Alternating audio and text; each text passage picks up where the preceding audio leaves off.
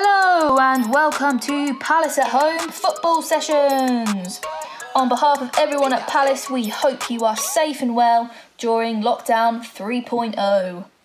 So, these online sessions are here for you to continue practicing your football skills at home before our programs are able to return as normal. I'm sure I speak for everyone here when I say, fingers crossed, it won't be too long. I'm Coach Charlie, and I'll be talking you through all the drills we have for you. So, this week we are working on our dribbling, and we are lucky enough to have Palace women players, Ashley and Amber, demonstrate some drills for us too. So to start off, set up two cones a good distance apart and all you're going to do is dribble from one cone to the other, making a figure of eight. So you're going to do this just using your right foot and then just using your left foot. Then we're going to dribble just using the inside of our feet and then try it using the outside of your feet.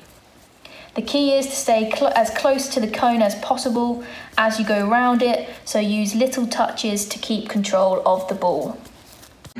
Hi everyone, I'm Amber and I play for Crystal Palace. My video skill is dribbling around the cone. We're going to use four parts of the foot.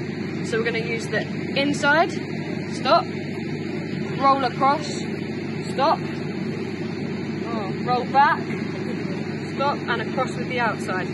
So I'll show you again. Up, across, back, over. You can do the next level, you can do